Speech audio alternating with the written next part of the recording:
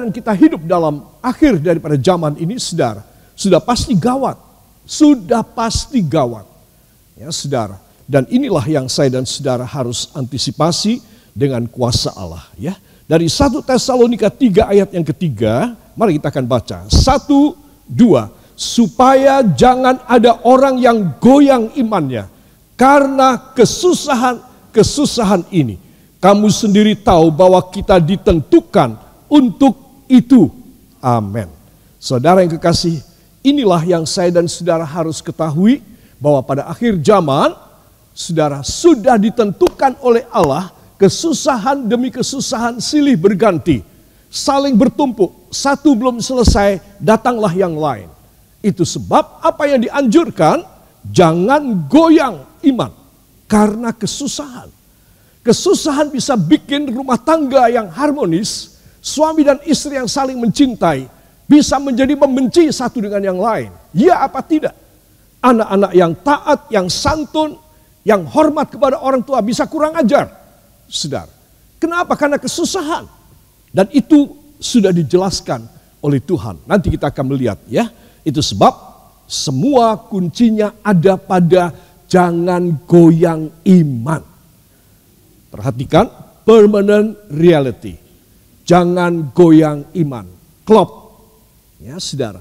Tetapi kalau permanent reality, imannya goyang, batal, nggak jadi. Padahal akhir zaman, di mana saya dan Anda ini dalam keadaan yang sedemikian gawat, ya saudara, mungkin saudara melihat semuanya running well, semuanya bagus, semakin lama semakin bagus. Kalau saudara melihat teknologi, bioteknologi, penyembuhan-penyembuhan yang luar biasa dari ilmu pengetahuan dan kedokteran, saudara, itu mengagumkan. Saya kasih tahu itu mengagumkan. Ya, saudara, apa yang mustahil bagi manusia, manusia berusaha menjadikan tidak mustahil, saudara. Itu sekarang dengan eh, perkembangan bioteknologi yang dahsyat, saudara, begitu banyak penyakit yang tidak terobati sudah mulai bisa diobati. Dan itu kata para ahli sebenarnya itu mustahil saudara. Tetapi pada akhir ini semakin semakin keakhiran dunia, semakin pekerjaan dari ilmu pengetahuan itu dahsyat. Ya, saudara. Nah, sekarang karena Tuhan melihat sama kejadiannya dalam kitab Kejadian fase yang ke-6, sama kejadiannya dengan fase 13 ketika keturunan Nuh merasa bahwa perkembangan budaya mereka, teh teknik mereka belum bisa dikatakan teknologi tapi teknik. Cara kerja mereka membangun bangunan itu bagus mereka mau sampai ke sorga. Nah ini saudara. Paradigmanya sama dengan keturunan Nuh ini saudara. Bahwa ilmu pengetahuan yang begitu maju dan begitu canggih komputer dan superkomputer yang luar biasa teknologi AI ya saudara yaitu teknologi yang artificial intelligence itu luar biasa sekali. Sehingga heran, komputer pun bisa membuat komputer. Saudara, itulah AI. Jadi sudah kelewat pinternya. Saudara, dan itu membuat Tuhan menjadi was-was. Sampai nanti manusia akan berusaha untuk menjadi seperti Allah, maka didatangkanlah kesusahan, kesusahan, kesusahan, kesusahan kepada dunia. Tetapi ketika Tuhan mengirim kesusahan, Tuhan sudah warning anak-anaknya, kalian jangan goyang. Aku terpaksa kasih kesusahan. Supaya mengikis semua kesombongan manusia. Semua adidaya, semua kehebatan manusia. Aku mau patahkan, aku mau hancurkan.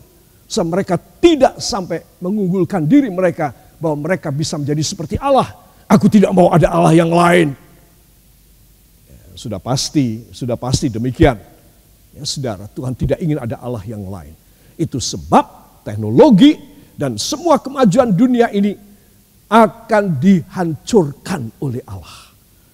Sehingga semuanya itu tidak ada kegunaannya lagi. Tidak ada fungsi dan khasiat sama sekali. Obat-obatan tidak akan berkhasiat nanti, saudara. Dan semua sumber daya alam yang membuat orang bisa menjadi kaya, negara bisa menjadi kaya, menjadi habis dan berubah menjadi racun dan gas dan bencana alam. Itu yang sekarang kita sudah mulai lihat. Ya, Saudara.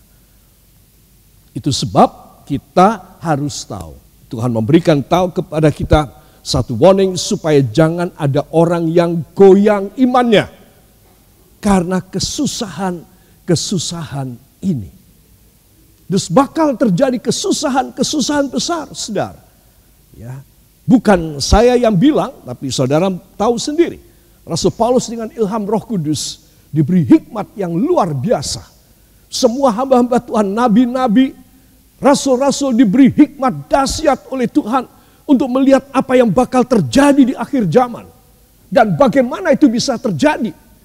Saudara, itu sebab kalau seorang anak Tuhan dia berpegang pada firman, katakan bila saya tetap berpegang pada firman saya tidak goyang imannya. Permanent reality pasti terjadi dalam hidup saya. Dan saya pasti bisa mengalahkan segala pencobaan, kesusahan yang pasti terjadi dalam nama Yesus. Amin. Haleluya. Ya. Jangan goyang iman karena kesusahan, sebab dunia kita pasti akan mengalami ini. Saudara yang kekasih, saya akan masuk pada lebih dalam lagi mengenai soal ini ya. Saudara, so perkuat rohani family, rohani keluarga. Saudara, setidaknya keluarga itu adalah dua orang, suami dan istri. Oke, ketika masih lengkap, bila satu sudah tidak ada, dia menjadi satu pribadi yang dulu menjadi cikal bakal dalam keluarga perkuat rohani keluarga. Ya, ini bukan guyonan. Saudara, di dalam Matius pasal yang ke-10 ayat yang ke-21, mari kita akan membuka lebih dahulu. Ya. Satu, dua. Orang akan menyerahkan saudaranya untuk dibunuh. Demikian juga seorang ayah akan anaknya dan anak-anak akan akan memberontak terhadap orang tuanya dan akan membunuh mereka. Amin. Saudara, coba mengerikan, ya, mengerikan. Ini adalah perkataan Tuhan Yesus sendiri. Sampai segitunya kesusahan yang bisa bikin goyang iman. Kesusahan yang bisa menghancurkan dunia. Saudara, yaitu keluarga menjadi hancur berantakan, bukan cuma bercerai, tetapi hancur berantakan karena kriminalitas, karena pembunuhan, Saudara, semua katakan bersama saya, tetapi saya sekeluarga. Angkat tangan saudara, tetapi saya sekeluarga. Memiliki permanent reality. Kenyataan-kenyataan yang permanen. Dari apa yang sudah dijanjikan. Tuhan menghindarkan saya dari semua kesusahan itu. Dalam nama Yesus Amin. Beri tepuk tangan bagi dia. Haleluya. Jadi kegoncangan iman, saudara, itu merombak semua struktur. Tata kesopanan, unggah-ungguh, kehormatan anak kepada orang tua, kasih dan cinta suami terhadap istri dan sebaliknya. Saudara, semuanya sudah berubah. Saudara, kenapa? Karena memang kesusahannya luar biasa. Kesusahannya luar biasa. Itu sebab sampai rela-relanya orang tua membunuh anak, anak membunuh orang tuanya dan saudaranya dan lain sebagainya. Ya, saudara, sekarang mulai kelihatan ya kebenaran firman ini mulai terjadi. Dan itulah yang disebutkan oleh Alkitab kamu nggak boleh goyang imannya karena kamu mempunyai kenyataan yang permanen yang nggak goyang, yang tidak berubah. Apa pun yang terjadi, kamu harus pegang kenyataan yang permanen ini. Kalau kamu berpegang kepada kenyataan yang permanen, kamu safe. Tapi kalau kamu melihat dunia dan kamu ikut dengan tata cara dunia, kamu akan cilaka seperti dunia. Itu sebab betapa pentingnya memperkuat rohani family. rohani keluarga saudara harus kuat sehingga terhindar dari kegoncangan iman yang bakal terjadi. Supaya saudara mempunyai satu proteksi dari Tuhan yang luar biasa dalam hidup saudara. Para kekasih,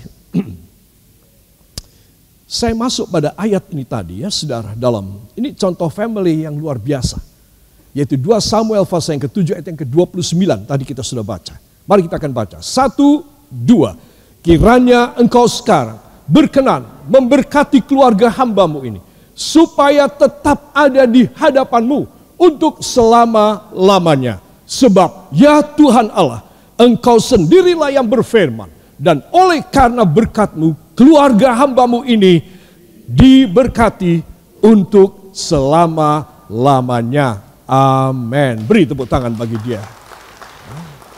Ini contoh keluarga Daud. Ya, dia memberikan kesaksian, Tuhan, engkau berkatilah keluarga hambamu, karena dengan berkatmu ini keluarga hamba akan selama-lamanya ada di hadiratmu. Permanent reality dari engkau Tuhan membuat hamba juga permanent reality. Realitas hamba sekeluarga tetap ada di hadirat Tuhan. Amin.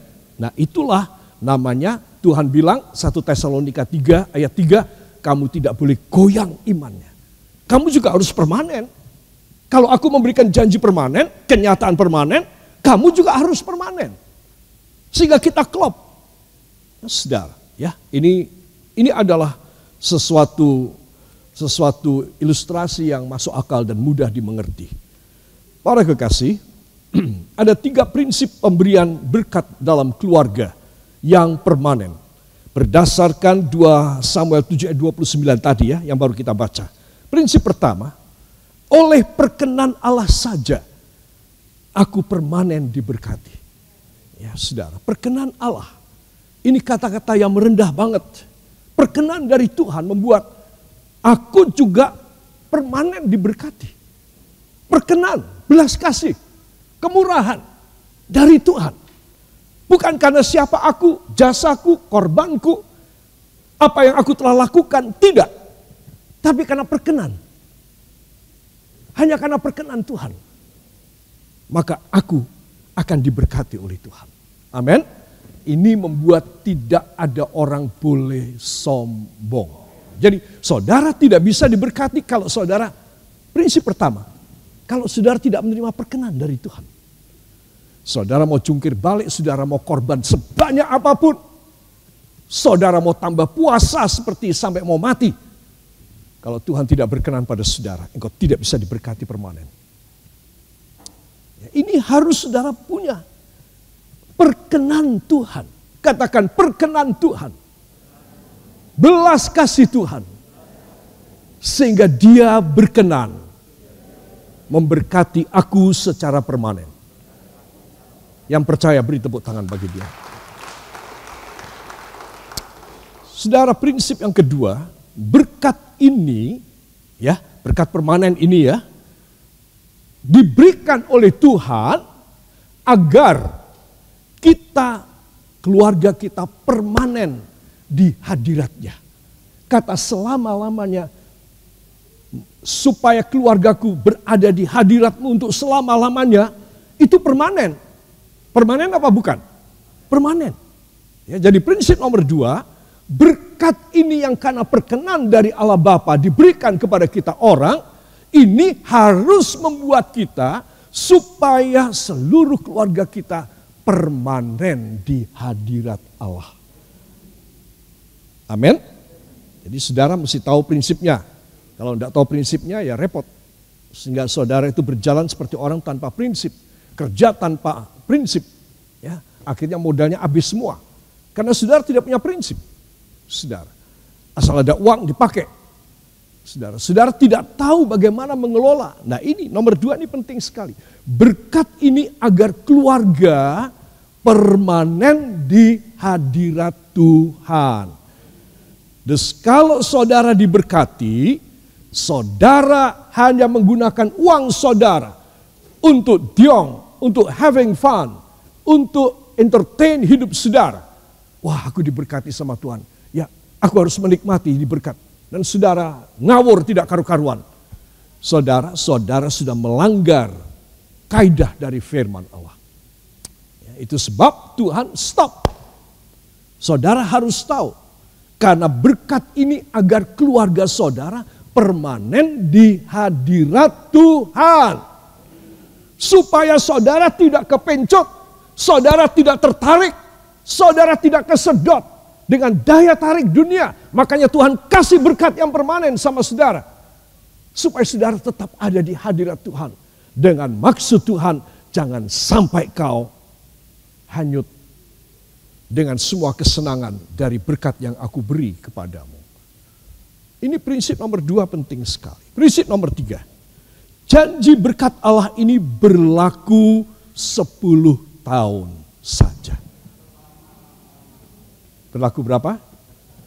Permanen. Katakan berlaku permanen. Ya, selama saudara dan saya ngikutin nomor satu, prinsip satu dan prinsip dua, maka berkat dari Tuhan, perhatikan Luar biasa loh Tuhan itu. Dia bisa percaya sama orang sampai permanen orang itu diberkati. Ya, saudara, ini prinsip nomor tiga. Janji berkat Allah ini berlaku permanen kepadaku. Ber, berlaku permanen kepadamu dan padaku. Katakan janji Tuhan ini berlaku permanen kepadaku dan kepadamu. Amin. Nah ini luar biasa. Ya, dari satu ayat ini saja kita bisa menggali tiga prinsip tentang permanen. Saudara. Jadi saudara harus begitu yakin bahwa perjanjian Allah itu diteguhkan dan pasti kita akan menerima secara permanen bila mana kita melakukan sesuai dengan tiga prinsip ini. Katakan tiga prinsip ilahi membuat saya permanen menerima kenyataan berkat di hadirat Tuhan terus menerus saya meninggal keturunan saya menerima amin haleluya saudara yang kekasih ada tiga unsur yang harus dimiliki dalam family dalam keluarga. Ini saya masih bicara family ya. Karena 2 Samuel 7 ayat 29 berbicara tentang family. Keluarga dari Daud. Ya, dia sudah menjadi tua dan dia mulai menjadi arif dan bijaksana, dia mulai berwisdom, dia mulai wise dan dia bisa membuat satu kalkulasi dan kesimpulan dari seumur hidup dia. Nah itulah yang dia cetuskan dalam ayat 25 sampai 29 tadi dari 2 Samuel pasal yang ketujuh. Oke. Okay? Nah, sekarang di dalam perjanjian baru, katakan dalam perjanjian baru, saya harus memiliki tiga unsur dalam keluarga saya. Iman, pengharapan, dan kasih. Ya. Saya sudah tahu. Omong, saya sudah tahu. Tinggal melaksanakan. Ya, para kekasih itu terdapat dalam 1 Korintus 13 ayat 13 ya. Saudara baca di rumah untuk menghemat waktu. Para kekasih faith, iman. Iman membuat semua terjadi. Katakan iman membuat semua terjadi. Bayangin kalau dalam keluarga saudara, rohaninya di, di, dibangun, ya saudara, maka saudara mempunyai iman dan iman itu membuat semua yang mustahil bisa terjadi. Ya, itu sebab iman harus bertumbuh di dalam hidup kita, di dalam keluarga kita. Bagaimana iman bisa bertumbuh? Melalui mendengar firman Tuhan. Katakan dengan mendengar firman, saya akan beriman. Demikian sabda Tuhan. Iman datang dari pendengaran pendengaran akan firman Tuhan. Yang percaya beri tepuk tangan bagi dia.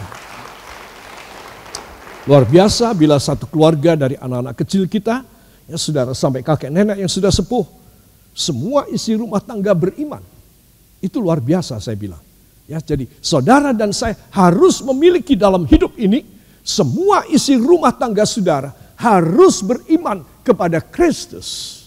Supaya dengan demikian Tuhan bisa merealisasikan permanent reality ini di dalam hidup saudara. Kalau seluruh keluarga, if your whole family not yet or never have faith, hope, and charity or love in your family, then your family will not experience all the goodness and all the miracles that God have already prepared in heaven, just waiting for you to pour out His blessing and His miracles in your life, in your family's life. He is waiting. Dia cuma nunggu. Saya tidak punya iman. Tapi saya nangis, dalam doa saya saya nangis. Barangkali saya puasa juga. Saudara. Tapi saya tidak punya iman. Apa artinya itu semua? Para kekasih saya ingin supaya semua saudara tahu. Itu sebab iman itu harus ditumbuhkan di dalam keluarga. Jangan apa-apa takut, khawatir. Orang tua memberikan contoh dan dan pendidikan ada apa-apa khawatir sekali, deg-degan banget. Ya, tidak mempunyai satu, tidak pernah mengeluarkan kata-kata iman yang begitu menguatkan isi rumah tangga. Ada yang cuma kata-kata khawatir, ya saudara, kemarahan, itu tidak baik. Kita harus mempunyai iman supaya Tuhan membangun keluarga di dalam perbuatan mujizat. Amin. Mujizat adalah sesuatu yang saudara dan saya tidak bisa. Mujizat adalah sesuatu pemberian dari Tuhan. Sehingga saya dan Anda bisa terus-menerus hidup di dalam tanda-tanda ajaib dari Tuhan. Di dalam kehidupan kita. Ya para kekasih. Ini unsur pertama. Unsur yang kedua, hope, katakan pengharapan. Saudara, pengharapan membuat semangat. Betul apa tidak? Ya, besok saya dijanji sama Bapak X, saya akan menerima sebuah mobil, atau saya akan diberi sebuah rumah, atau saya dikasih pekerjaan, atau saya akan mendapatkan uang sejumlah sekian. Saudara, maka sepanjang hari saudara akan penuh pengharapan besok Tuhan tolong, Tuhan jangan sampai saya meninggal dunia tengah malam ini. Aduh, besok bisa batal ini. Betul apa tidak? Saudara mempunyai harapan. Membuat saudara bersemangat. Nah, iman kepada firman, katakan iman kepada firman, menumbuhkan harapan. Bahwa apa yang saya imani, apa yang saya percayai, dari firman ini akan menghasilkan. Itulah pengharapan saya. Amin. Nomor satu iman, maka nomor dua menghasilkan harapan. Betul apa tidak? Jadi kalau saya dan saudara datang ke gereja, itu sebab saudara harus rajin. Saudara datang ke gereja, saudara mendengar firman, dan saudara ditumbuhkan iman saudara. Amin. Nah iman inilah yang membuat saudara punya harapan. Aku percaya kok. Sekarang aku tidak pegang uang, sekarang aku masih sakit. Kata dokter bahkan sakitnya lebih keras lagi, lebih gawat lagi nyawaku.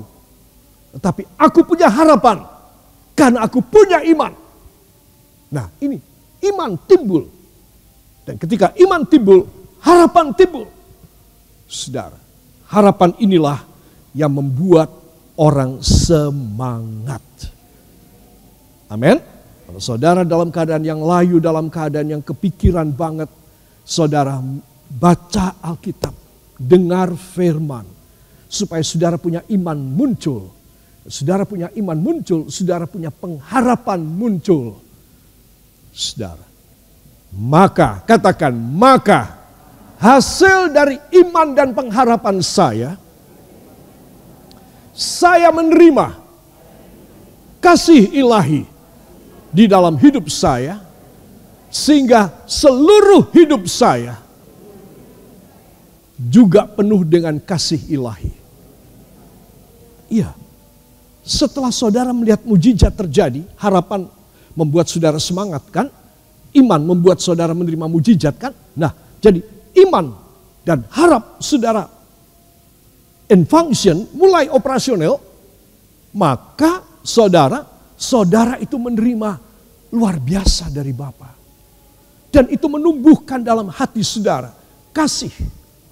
Aku diberkati, aku ditolong, aku selalu mengalami mujizat, aku dimudahkan dalam semua keadaan. Kenapa aku hatinya jahat? Kenapa aku tidak mengulurkan tangan kepada orang lain? Saudara, kenapa seseorang tidak punya hati yang love, hati yang kasih? Karena dia merasa dia tidak menerima apa-apa dari Tuhan. Karena dia bukan menjadi produk mujizat dan tidak pernah ada terjadi mujizat dalam hidupnya. Itu sebab dia seorang egois, tidak ada love, tidak ada cinta dalam hidupnya. Itu sebab banyak rumah-rumah tangga tidak bisa bertahan, anak-anak mereka juga tidak karu-karuan, saudara. Dan semua keadaan menjadi jelek dalam hidup mereka. Apa sebab? Karena mereka tidak merasa bahwa iman mereka itu bekerja. Harapan mereka itu suram, tidak memberi semangat. Jadi mereka lari kepada perkara duniawi. Saudara, dan yang namanya love atau cinta atau kasih itu tidak pernah terjadi dalam hidup mereka. Ya, saudara, padahal cinta membuat semua indah. Amin. Katakan cinta membuat saya menerima yang indah.